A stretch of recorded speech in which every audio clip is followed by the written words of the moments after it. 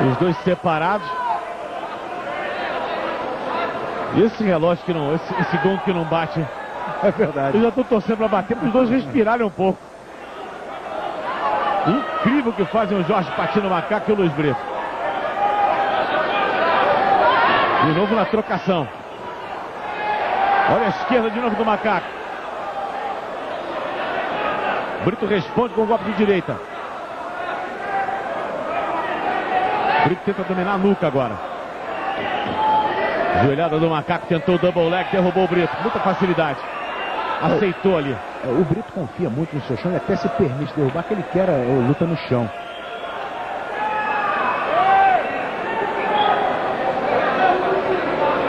Onde ele tem maiores chances né, de, de definir o combate.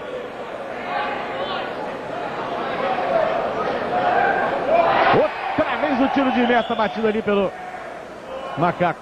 Jogou bem, trabalhou bem as pernas do, do, do Luiz, né? jogou pro lado e não partiu para mobilização não. Viu o espaço e colocou ali o, o tiro de meta. Olha, o, o Patino já deu pelo menos quatro chutes na cabeça, quatro tiros de meta contra o Luiz Brito, que é casca grossa, hein? Ufa! Ufa, essa borracha! Até nós aqui estamos cansados. Que espetáculo! Olha, olha, o público, como é, que, como é que reconhece o aplauso do público de pé. Que é o reconhecimento. Realmente. E a primeira luta que vai para o segundo round, é.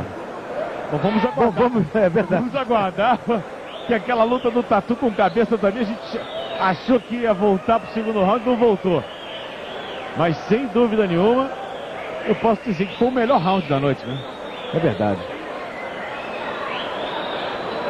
Fique por dentro de tudo o que rola antes, durante e depois dos eventos. Revista Tatame, na luta pela melhor informação. Estamos revendo alguns dos melhores momentos. Olha, é difícil até fazer melhores momentos. É melhor passar o round inteiro, porque foram 10 minutos de luta intensa, né? de bons momentos. Foi exatamente, 10 minutos de momentos excepcionais. Olha aí. Que ó. o Jorge Patino Macaco e que o, o Luiz Brito nos proporcionaram. Olha aí, o momento que ele esticou aí o braço do macaco. Né? Pensei que a luta fosse acabar ali. Que resistência de braço tem o macaco, né? Como girou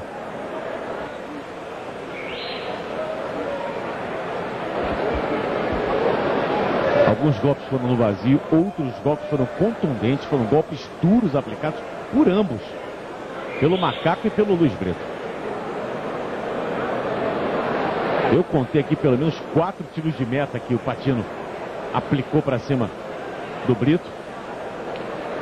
Estamos com dois minutos, vivemos um momento de intervalo. Jorge Patino Macaco e Luiz Brito no oitava, na oitava luta da noite.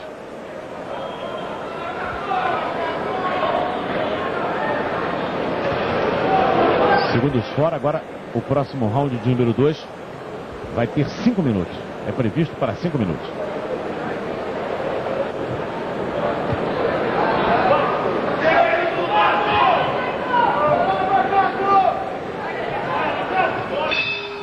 Agora sim o gong.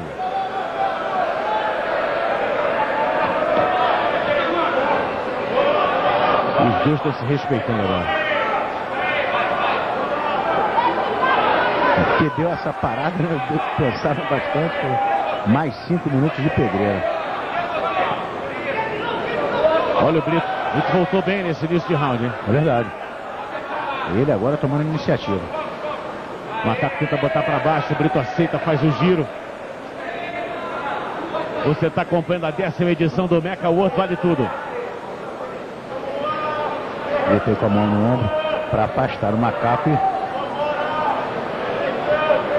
abrir aí a sua perna e não deixar que ele passe a guarda o, o macaco. Ele vai tentando empurrar ali para não deixar o, o, macaco progredir. Ele vai tentando passar ali a guarda para um lado. Tenta pular aí, inverter, mas passar para o outro lado. O Brito vai acompanhando. Eu me lembro no VT de abertura, na apresentação oficial dos dois, que o Macaco falou: Eu vou explodir 10 minutos para cima de você, Brito. Foram 10 minutos de explosão do macaco. Vamos ver se ele vai ter gás agora para continuar explodindo para cima do Brito. O Brito aguentou o castigo, explodiu também para cima do macaco. Eu acho que agora, mais do que nunca, mais do que a técnica, mais do que a vontade, vai contar o condicionamento físico, né, Borracha? Ah, indiscutivelmente, Sérgio. Porque resistência o Brito tem muita, porque aquele golpe que ele recebeu foi duríssimo. Ali é um knockdown. E tá aí mostrando que tem gana, que tem vontade de raça e determinação para continuar a luta.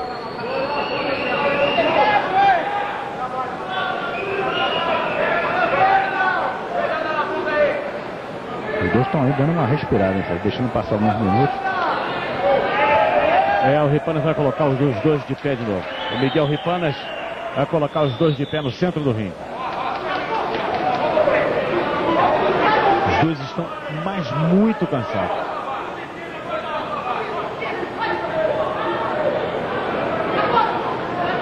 O Macaco está bem estático ali. Procurando jogar os golpes mais em linha, o, o Luiz Brito. E os golpes do Macaco estão passando no vazio. Ele já não está mais com aquela distância que ele tinha do primeiro round. Agora entrou a esquerda, esquerda e direita. O Brito dá dois passos para trás.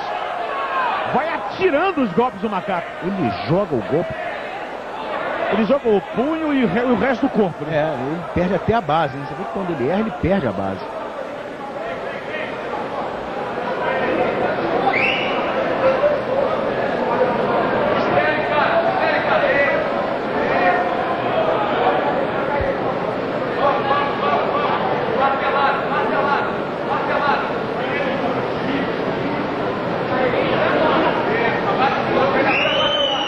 Estamos no segundo round primeira luta da noite que vai para o segundo round. Explodiram muito realmente no primeiro, buscaram muito aí a definição do combate pelas duas partes. O desgaste foi grande, agora eles vão aí trocando alguns golpes, mas quando vê que vai uma posição que dá para respirar, eles vão segurando. E vão até se permitindo um ao outro respirarem. Já fica pesado, incrivelmente pesado. O corpo já não responde da mesma maneira, vê que já fica mais a, a cabeça manda e o corpo não obedece, né? Eu quero ir, mas... Vai corpo... mão, vai mão, vai pé. E o pé não vai, a mão não vai.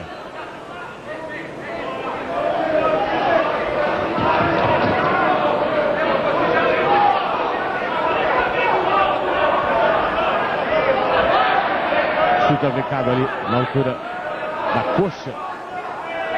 Outra vez aí o chute do macaco. Esquerda entrou. Brito tenta responder, o macaco partiu para as pernas. Vai pela primeira vez resistindo aí a, a queda, o Brito.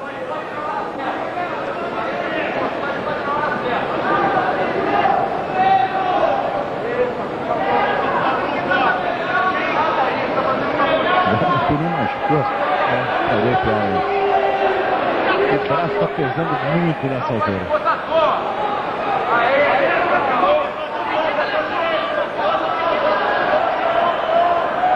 Mais um chute do Patinho. Entrou a direita e esquerda, os dois não respeitaram ali o gongo. E vamos para o terceiro round, seu Paulo Borracha. Incrível, hein, Esse aí eles já deram uma segurada. Vamos ver aí agora se nesse terceiro como eles vão se comportar. Né?